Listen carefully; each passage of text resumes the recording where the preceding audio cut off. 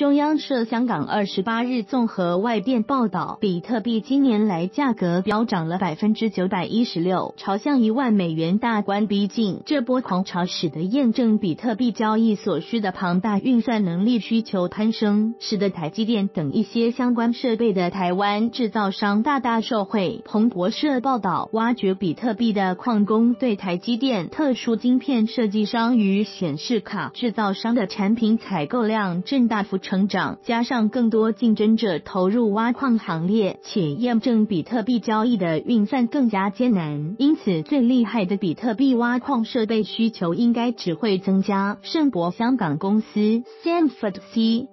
Bonshine。In Hong Kong 的半导体分析师马克瑞 （Arklay） 表示，这是场军备竞赛。挖矿使用高度密集的科技，需要运算速度非常快的晶片才能在系统里挖到币。根据马克犬 L 部的报告，有二类台湾企业可受惠于加密货币的蓬勃发展，分别是半导体制造业及特殊应用机体电路 （ASIC） 设计服务商。首先，半导体是挖矿最基基础设备，而台积电是半导体制造业龙头。尽管台积电的加密货币相关产品营收目前最多仅四亿美元，约新台币一百二十亿元，占公司第三季庞大的营收总额比例只有百分之五。不过，负责生产 iPhone 手机晶片的台积电正面临智慧。